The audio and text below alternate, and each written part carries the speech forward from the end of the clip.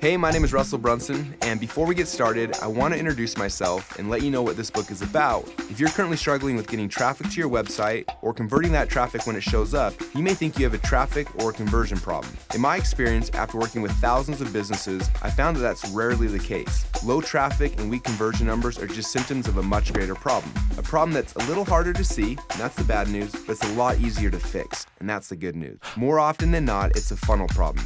The problem is that you can't spend enough to acquire a customer, and the only way to fix that problem is to fix your sales funnel. One of my mentors, Dan Kennedy, said, Ultimately, the business that can spend the most to acquire a customer wins.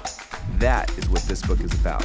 This book will take you on a journey to help you understand how to structure your company's products and services in a way that will allow you to make two to three times as much money from the exact same traffic you're getting right now. And when you follow these steps, you'll open the floodgates, allowing you to spend a lot more money to get a lot more new customers.